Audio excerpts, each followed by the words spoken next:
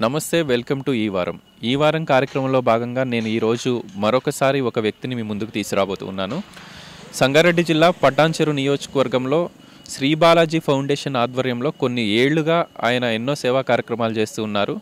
రోడ్ల మీద ఉండే అనాథలు అభాగ్యులకు నేనున్నానంటూ అండగా నిలిచే ప్రయత్నం చేస్తూ ఉన్నారు.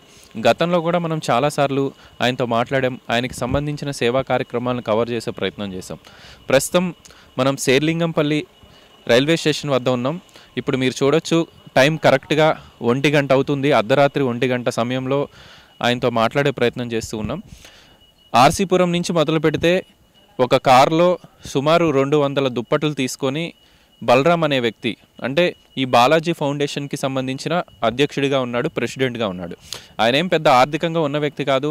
ఒక సామాన్యుడు తన బిజినెస్ చేసుకుంటూ అనాథలకు అభాగ్యులకు ఏదన్నా చేయాలన్న తపనతో రెండు వందల దుప్పట్లను తన చిన్న కారులో వేసుకొని ఆర్సీపురం నుంచి మొదలై భరత్ నగర్ వరకు వెళ్ళాం. మేము కూడా ఆయనతో పాటు వెళ్ళాము. చాలామంది రోడ్ల మీద పడుకునే అభాగ్యులకు అనాథలకు ఆ దుప్పట్లు కప్పి వాళ్ళ మంచి చెడ్డలు తెలుసుకొని వస్తూ ఉన్నారు. ప్రస్తుతం మనం లింగంపల్లిలో ఆగాము. నాతో పాటు శ్రీ బాలాజీ ఫౌండేషన్కి సంబంధించిన బలరాం ఉన్నారు. మాట్లాడే ప్రయత్నం చేద్దాం. అన్న ముందుగా నమస్తే. అర్ధరాత్రి ఒంటి గంట అవుతూ ఉంది. ఇప్పటి వరకు మేము కూడా మీతో ప్రయాణం చేశాము.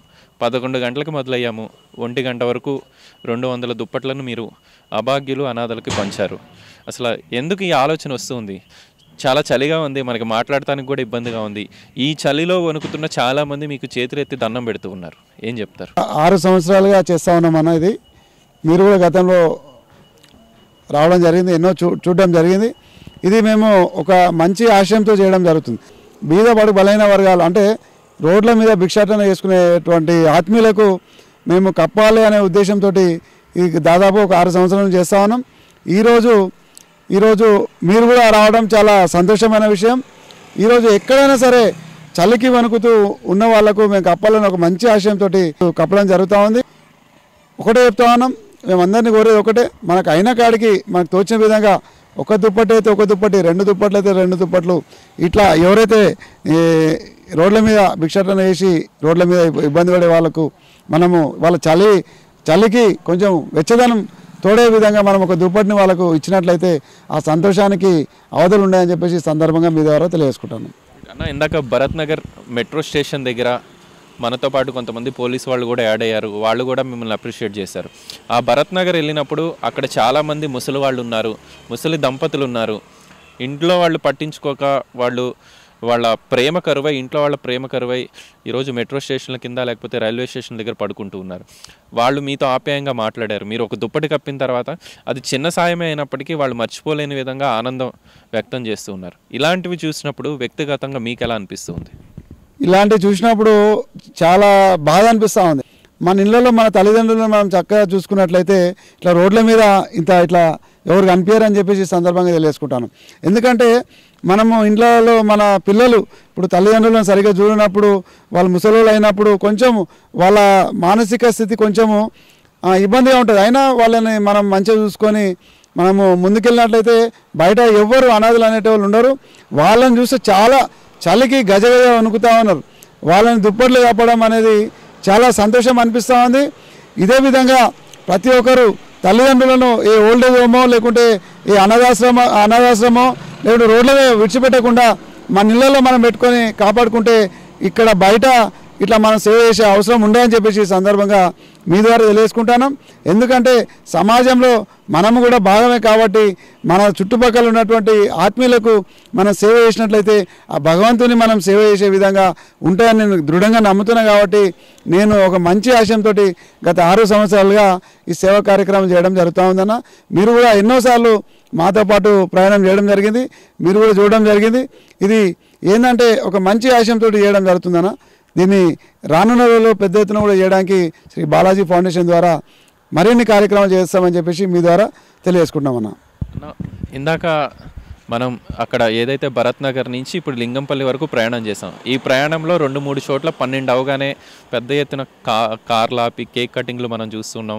మొహాలకి కేకులు పూసుకుంటూ ఉన్నారు. అవన్నీ మనం వచ్చేటప్పుడు చూసాం. సో వాళ్ళకి ఎంతో కొంత ఖర్చు అవుతూ ఉంటుంది.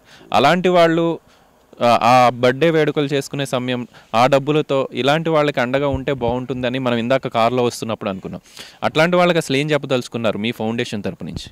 మేము దాదాపుగా ఇక్కడ నుంచి మనము భరత్ నగర్ దాకా వెళ్ళినాం. వెళ్ళినప్పుడు వెళ్తూ ఉంటే ఒక మూడు నాలుగు బ్యాచ్లు అనిపించినాయి. వస్తూ ఉంటే మూడు నాలుగు బ్యాచ్లు అంటే ఒక పదిహేను ఇరవై మంది ఉన్నారు. వాళ్ళు కేకులు కట్ చేసుకొని ముఖాలకు రుద్దుకోవడం అదేవిధంగా వాళ్ళను ఇష్టం చిత్రహింసలు అంటే వాళ్ళ ముఖం తీసుకెళ్ళి కేకు రుద్దడం ఇట్లా అది అది మంచిగా అనిపించలేదు మాకు. ఎందుకంటే మీకు నిజంగా మీరు డబ్బులు వేలకు వేలు ఖర్చు పెట్టే బదులు అదే డబ్బులు ఎవరైతే పుట్టినో ఉంటో వాళ్ళ పేరు మీద వారిని తీసుకెళ్ళి వారితో పాటు కప్పినట్లయితే వారికి ఎంతో ఆనందాన్ని ఇస్తాం ఎందుకంటే మేము చేసే సేవా కార్యక్రమాలలో మంచిని చూస్తాం కాబట్టి మేము మేము మీ ద్వారా వాళ్ళందరికీ కూడా ఒక సూచన చేస్తా ఉన్నాం. మీకు నిజంగా బడ్డలు బర్త్డేలు చేయాలంటే ఇలాంటి సేవా కార్యక్రమాలు చేయాలి. లేని వారికి ఒక ఆహారం ఒక మధ్యాహ్నం భోజనాన్ని కానీ ఒక రాత్రిపూట భోజనాన్ని కానీ మీరు అందించినట్లయితే మీ బర్త్డే ఒక పది బర్త్డేలు చేసుకునేంత తృప్తినిస్తుందని చెప్పేసి మీ ద్వారా తెలియజేసుకుంటాను. చివరిగా ఈరోజు ప్రయాణంలో మిమ్మల్ని దగ్గర నుంచి చూసాము ఎవరైతే అనాథలు అభాగ్యులు ఉన్నారో వాళ్ళ మాటలను కూడా మేము దగ్గర నుంచి విన్నాం. అయితే చాలామందికి ఉంటుంది.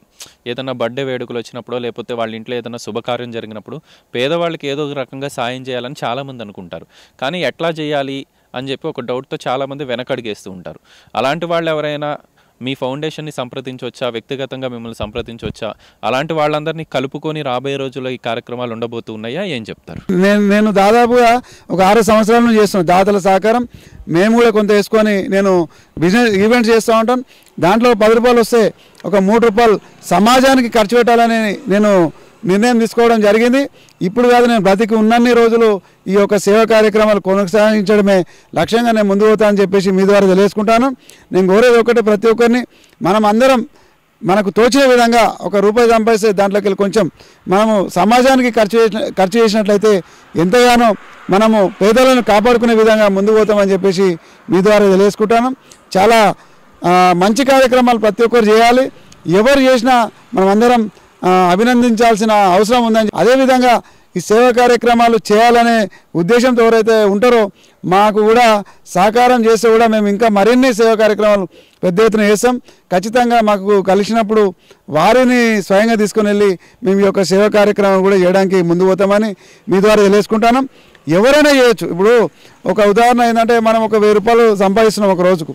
దాంట్లోకి వెళ్ళి ఒక వంద రూపాయలు ఖర్చు పెట్టినట్లయితే ఇక మన ఆస్తులు ఏం సరిపోవు. కాబట్టి ప్రతి ఒక్కరు అదే స్ఫూర్తితో ముందుకు పోయినట్లయితే పేదరికం లేని ఒక సమాజం మంచి సమాజం మనం చూడడానికి అవకాశం ఉంటుంది. ఇలాంటి అభాగ్యులు రోడ్ల మీద ఉండకపోవడానికి కూడా మనం ఆస్- ఆస్కారం ఉంటుందని చెప్పేసి మీ ద్వారా తెలియజేసుకుంటాను. మీరు కూడా మాతో పాటు ప్రయాణం చేశారు. బలరాంతో పాటు రెండు మూడు కార్యక్రమాల్లో కూడా మేము మిమ్మల్ని చూసాము సో చాలా చక్కగా అనిపించింది. మాకు కానివ్వండి మీకు కానివ్వండి. ఎందుకంటే చాలామంది పేదవాళ్ళు అభాగ్యులు మనతో మాట్లాడారు. ఎట్లా అనిపించింది ఈరోజు ఇంత అర్ధరాత్రి మీరు ఇంటి నుంచి బయటకు వచ్చి ఈ కార్యక్రమంలో పాల్గొనటం? ఇప్పుడు మేము ఎప్పటి నుంచి అన్న ఇంకల్లా తిరుగుతాము. అన్న ఏ సాయం చేసినా అన్న ఇంకల్లే ఉంటాము. అన్న మాకు ఎప్పుడు ఫోన్ చేయ మేము రెడీ ఉంటాము. అన్న ఏం చేసినా ఆయన ఆయన గురించి చేయడు. మన జనాల కోసమే చేస్తాడు అన్న. ఏం చేసినా ఫుడ్ కానీ అన్ని బొత్తుడు అన్నీ అన్న ఏం చేసినా సాము మన అన్న మన జనాల కోసమే చేస్తాడు అన్నీ. అంటే మీరేం పని చేస్తూ ఉంటారన్న? మీరు చేసే పని ఏంటి మనం చేసేది టిఫిన్ సెంటర్ ఉన్నది మనకు దాంట్లో మనము అదే నడుపుకుంటాం అంతే. కానీ మాకు చాలా హ్యాపీగా ఉంది. ఎందుకంటే మీరు ఒక చిన్న టిఫిన్ కొట్లో పనిచేస్తూ ఉన్నారు టిఫిన్ కొట్ నడిపిస్తూ ఉన్నారు. అన్న పిలిచిన వెంటనే మీరు ఫ్యామిలీని వదిలేసి ఒక్కసారి వీళ్ళ కష్టాలు చూద్దామని చెప్పి మీరు వచ్చారు. ఎట్లా అనిపిస్తుంది? ఇలాంటి వాళ్ళు ఇన్స్పిరేషన్ అనుకోవచ్చా మీకు? ఇప్పుడు అన్న ఎప్పుడు ఫోన్ చేసినా మనం అన్నాక ఇంకా రెడీగా ఉంటాం మనం మనం. ఇప్పుడు ఫ్యామిలీ అయితే మన దగ్గర ఉంటారు నా ఇప్పుడు రోడ్డు మీద ఉంటారు వాళ్ళకి ఇప్పుడు చూడరు కదా. మనం లేకపోతే వాళ్ళు కూడా లేరు కదా. వాళ్ళు కూడా మనం కూడా చూసుకోవాలి కదా. అంటే ఎట్లా అనిపించింది? చాలా మందితో మీరు మాట్లాడారు కదా. అక్కడ భరత్ నగర్ రైల్వే స్టేషన్ దగ్గర ఒక తండ్రి ఒక కొడుకు తల్లి కూర్చొని ఉన్నారు. వాళ్ళు మీకు చాలా ఏదో చెప్తూ ఉన్నారు. ఏమనిపించింది? బాధ అనిపించిందా మీకు? మాకు బాధ అనిపించింది. మన అమ్మనైనా గుర్తుకు వచ్చింది అప్పటికే. వాళ్ళు కూడా గుర్తుకు వచ్చింది మనవి కూడా అదే రోజుల్లో వస్తే మన కూడా అందుకోసం అదే మాట్లాడుకున్నాను నేను కూడా అన్నతో అప్పుడే.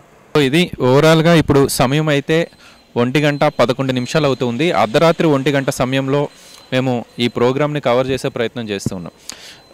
ఎవరైతే ఇప్పుడు మనతో మాట్లాడాలో బలరాం అనే వ్యక్తి స్థానికంగా బీజేపీ నాయకులుగా ఉన్నారు. సరే పార్టీ విషయం పక్కన పెడితే వ్యక్తిగతంగా ఆయన ఎన్నో సేవా కార్యక్రమాలు చేస్తూ ఉన్నారు. ఆయన ఒక సామాన్యుడు చిన్న చిన్న ఈవెంట్ చేసుకుంటూ ఉంటాడు.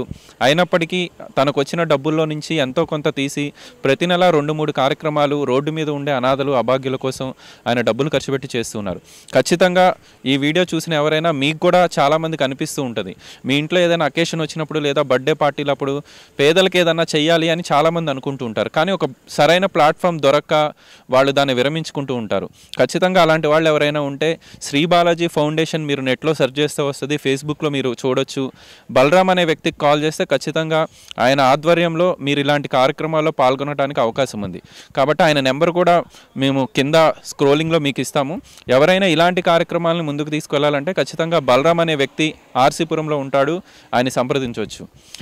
సో ఈ విధంగా చాలామంది ముందుకు రావాల్సిన అవసరం ఉంది. ఎందుకంటే మనం చాలామందితో మాట్లాడాం ఇప్పుడు విజువల్స్లో కూడా మీరు చూడొచ్చు. చాలామంది అనాథలు అభాగ్యులు ముఖ్యంగా ముసలి వాళ్ళు రోడ్డు మీద చలికి వణుకుతూ ఆ ప్లాట్ఫామ్ల పక్కన రోడ్ల మీద పడుకుంటూ ఉన్నారు. వీళ్ళందరికీ అండగా నిలవాల్సిన బాధ్యత మనందరి మీద ఉంది. మానవత్వం మనకు అదే నేర్పిస్తుందని చెప్పి బలరాం చెప్తూ ఉన్నారు. వీడియో జర్నలిస్ట్ సంజీతో గోపికృష్ణ న్యూస్ సిక్స్టీన్ శేర్లింగంపల్లి నియోజకవర్గం నుంచి.